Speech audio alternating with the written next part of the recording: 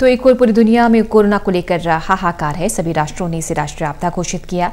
तो वहीं अब मुनाफाखोर भी अपनी चांदी कूटने से बाज नहीं आ रहे। ऐसा ही मामला फरीदाबाद की प्रेस कॉलोनी का है। स्वास्थ्य विभाग की टीम ने दबिश दी भारी मात्रा में नकली सैनिटाइजर्स जब्त किए गए हैं।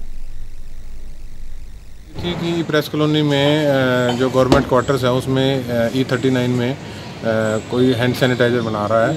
तो हम यहाँ पहुँचे मैं और हमारे drug control officer Mrs Pooja Chaudhary हम यहाँ पहुँचे तो यहाँ सुखदेव सिंह जो इसके जिन्होंने अपने आप को इसका प्रोपरेटर मालिक बताया इस प्रीमिस का उन्होंने उनसे हमने लाइसेंस मांगा तो वो लाइसेंस नहीं दिखा सके।